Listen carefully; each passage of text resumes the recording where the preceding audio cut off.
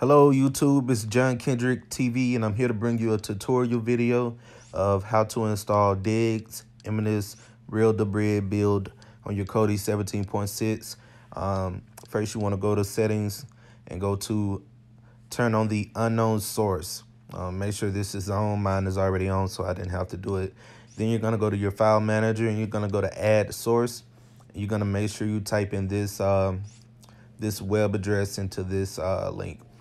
Um, I am running an Apple TV. This is Kodi 17.6 build. Um, this is the Apple TV 4K. I'm running tvOS 11.3. Uh, I don't really have any problems with it. By the way, it's 64 gigabytes. I don't really have any problems with it. Um, I never run into um, any lags, any buffering, anything like that that's severe enough to where I'm dissatisfied with using Kodi on the Apple TV. Um, shout out to anybody who has it on the dig on the shield or anything like that, Fire Stick. Um, but yeah, you want to make sure you put this web address in the uh, top of the description and just name it dot digs. It really doesn't matter. You can pause the video after I close this out if you need it. Um, go ahead and, and push OK. I didn't need to do it because I already have it. You're going to go back to the Kodi main screen and you're going to go down. You're going to go to add-ons. Once you do that, you're going to click at the top left and you're going to um, go to install from zip, okay? Now here you're going to just go to the file to whatever you named it. I named it .dig. So you go to install repo. And then once you do that, you're just going to go ahead and choose the only option, the repository. Uh, mine moves pretty fast, so it doesn't take long to install. Um, look for it at the top right. Go to install from repository. Go to Diggz repository. Then you're going to go to the Chef Wizard. Well, program add-ons. And then the Chef Wizard. Um, install this. Give it a moment. Um, now here, um, I did not go to configure it. It just popped up. That's just a pop-up. Um, so you just want to go ahead and dismiss everything and um, do exactly that. Uncheck all those boxes or bubbles. Leave the last three, um, you know, filled in. Press continue. Ignore. Now you can go ahead and open it up. Um, once you're on this screen, you want to go to the builds and you're going to choose Eminence Real Debrid version 2.1. You're going to want to go ahead and first install it if you already have a build. If you don't, you can go ahead and do a standard um, standard install installation. Now, this is my favorite build at, at the moment. Um, it has everything I need. Um, it's very convenient for me. It's very user-friendly. It's smooth. It looks great. Um, it, you know, uh, adds that little, uh, you know, that customization to your your Kodi experience that makes it look look different. Um, everything is very well put together, um, and so once it's done installing, it's gonna automatically force close Kodi. Don't trip. Just open it right back up. All right yeah, so give it a little moment. You can go immediately back into it. Um, if not, just give it a little moment, a little while. As soon as you open it, sometimes the skin doesn't take effect automatically. Uh, if I would have been patient a little while, I would have gotten this message before going into settings because I was about to manually change it, but it automatically does it once it's done loading after you open it back up.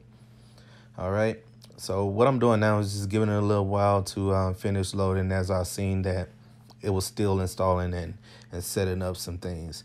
Then I'm going to go to the main screen and I'm just going to go through some of the sub menu, menu items um, and show you what's available. Okay.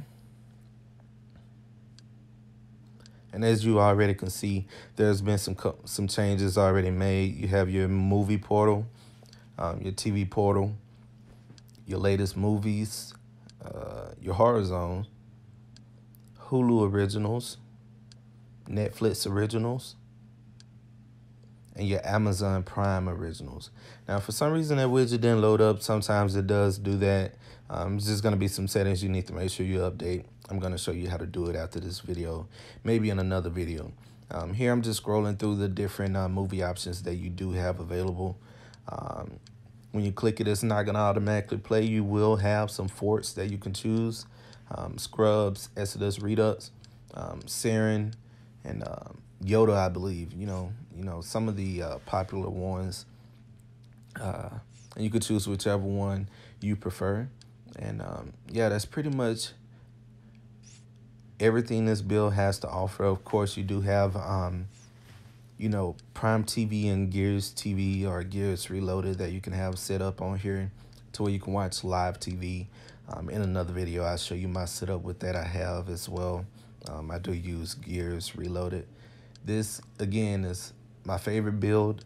Uh, you can't really go wrong. It's the perfect setup for me. I have movies available.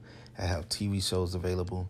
I have Netflix, Hulu, Amazon now, uh, and I have live TV as well as music. So you really can't beat that. And with this being set up on the Apple TV, man, it's it's it brings you the ultimate experience.